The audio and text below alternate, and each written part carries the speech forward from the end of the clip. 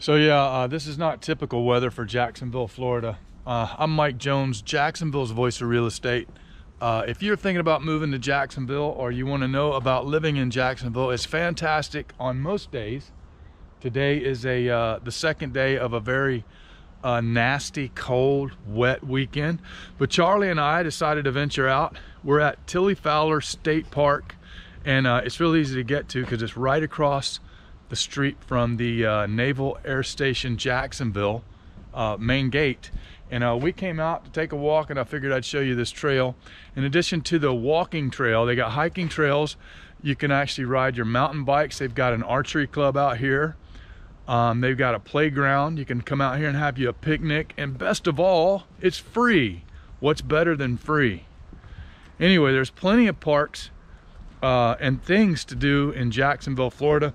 This is just one of them. Charlie likes it here because he just gets to run around, have a good time. And uh, of course, you're supposed to have your dogs on a leash, so don't um, let me encourage you to break the rules.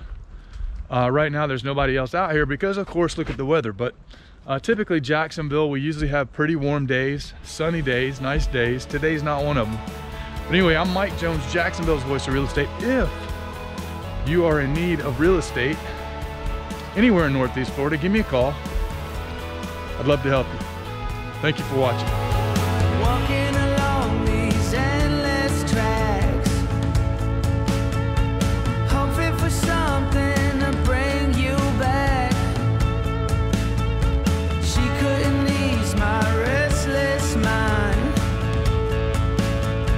instead